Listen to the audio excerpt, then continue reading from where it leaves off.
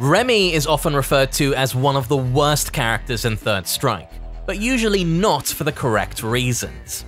Similar to Guile, he's a charge zoner, but offers his own unique spin on it.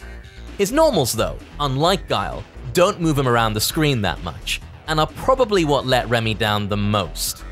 Moves like Crouching Heavy Punch and Far Heavy Punch are nice, same with Close Medium Punch or Medium Kick, but overall his normals have either bad hitboxes or terrible frame data, even on hit.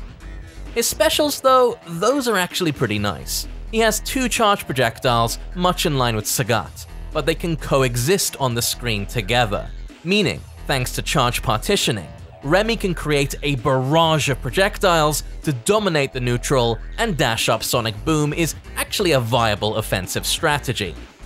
Cold Blue Kick is his own version of Tiger Knee mixed with a dive kick. Very useful to go over pokes and move around the screen while spacing it to be safer on block. He also has a flash kick for anti-airing and combos, but that's pretty standard. and aside from the hilariously awful Blue Nocturne, Remy's supers are also pretty nice and can be used for either corner pressure with Super Art 1 Light of Justice, or overall speed and hit confirmability with Super Art 2 Supreme Rising Rage Flash. Remy, however, still struggles, and that's not because opponents can parry his offense, but because he cannot do the same to them. Being a charge character means that after a parry, Remy loses all charge, and basically any kind of retaliation with a special move. That, coupled with low stun and his overall meh normals, really tank the character.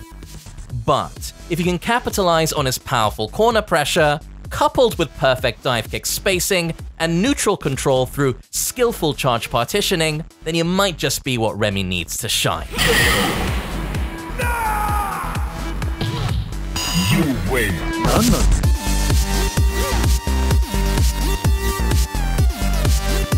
Thank you for watching. This Third Strike series is made possible by our collaborators, Klaww and Fugo, as well as our generous patrons.